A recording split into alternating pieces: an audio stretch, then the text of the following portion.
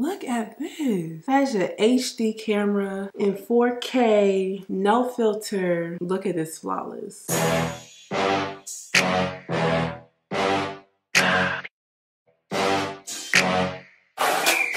Hey you guys, welcome back to my channel. It's your girl Precious. I'm just gonna get straight to the case. We all know why we're here. You wanna know how to set your face like a pro and to have this flawless finish. Let's go ahead and jump into this video. As you can see, face is blended out. I did my foundation, I did my concealer, I did my cream contour, I did my blush. Now it's just to set my face. The first thing I like to do when I set my face is I like to go in with a loose powder. This one's from Huda Beauty in the shade Blondie and I like to set my under eyes. That is the very first part of my face I like to set. So what I do is I tap the product on the top of the lid. That's how I like to work with the powder.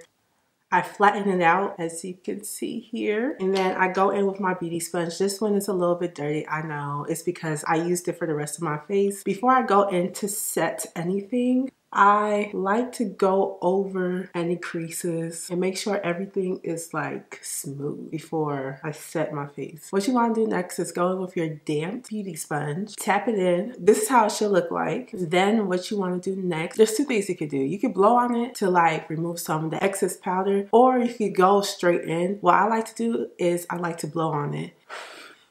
So now it looks like this. And then I like to tap it under my eye. Like so just evenly tapping it under my eye. Don't tap too hard though. And you can see how smooth that already looks compared to this side. I'm just gonna do that again, but do it for the other eye. So what you wanna do, you want the powder to evenly lay on the cap. Then you wanna take your beauty sponge, you wanna tap it in. This is a lot right here. So I like to just tap some off before blowing.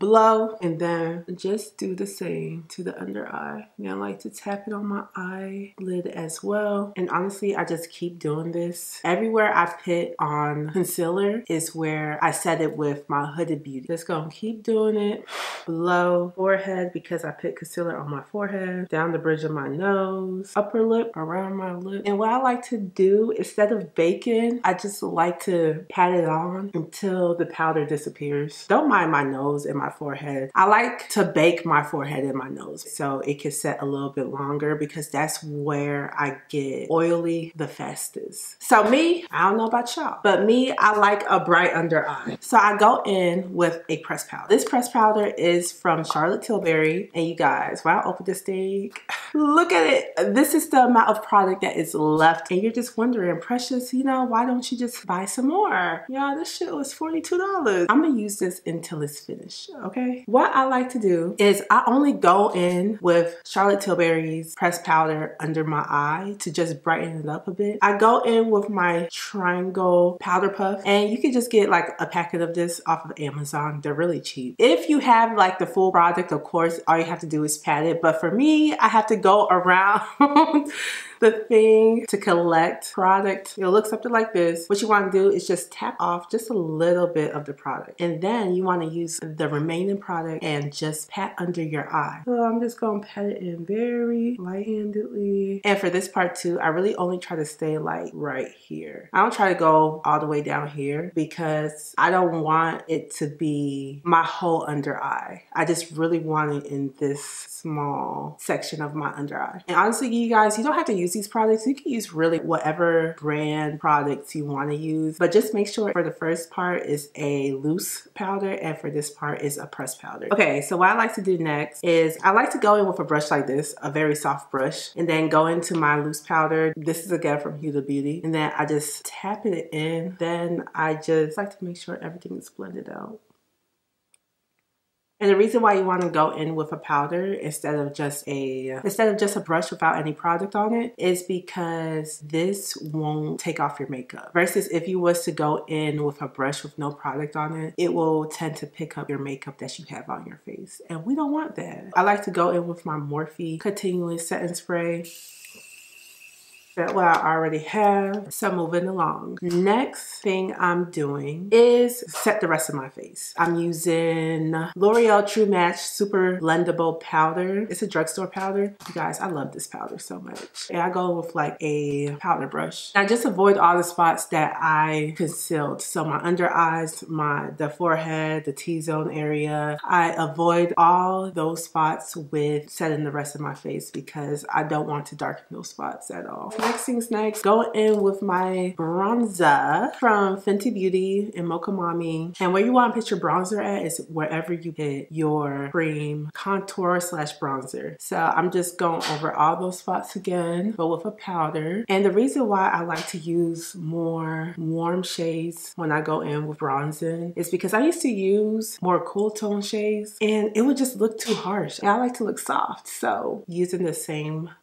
bronzer for my nose. Because I did contour my nose earlier but sometimes it could get lost in the powders. So I want to bring my nose job back to life. And then I like to go over it with a beauty sponge so it doesn't look harsh or anything like that. If you really want a seamless finish you go back in with your brush take a little bit of product just a little bit tap it off. It should look something like this. Tap it off and then go back over it just to blend everything out. Make sure everything is making sense.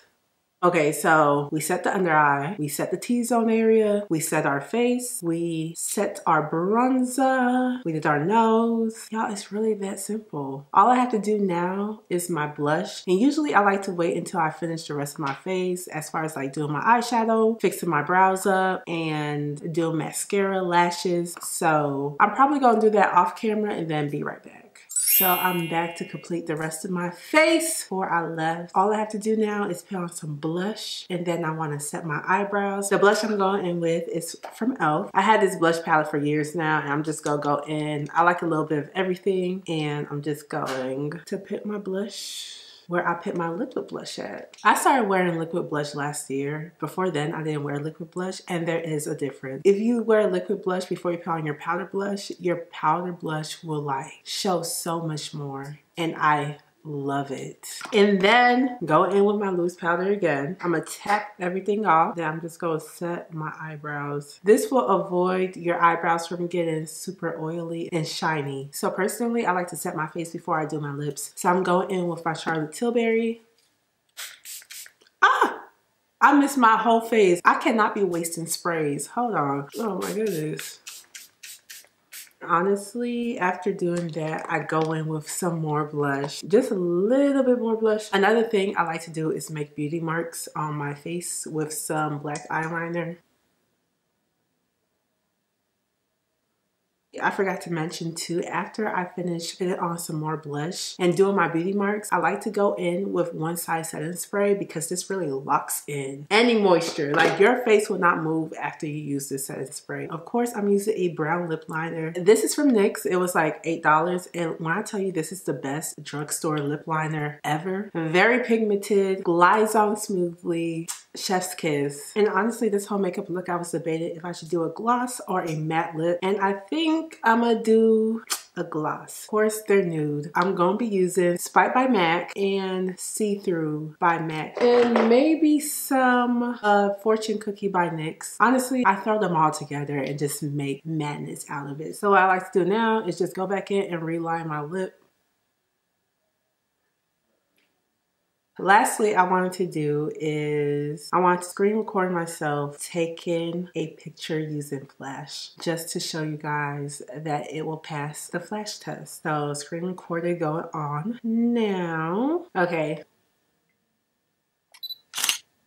Oh my goodness, don't play with her. Thank you for staying to the very end of my video. I hope you guys enjoyed. If you did, please leave a big thumbs up on this video. Make sure you subscribe. And with all that being said, I will catch you guys in my next video.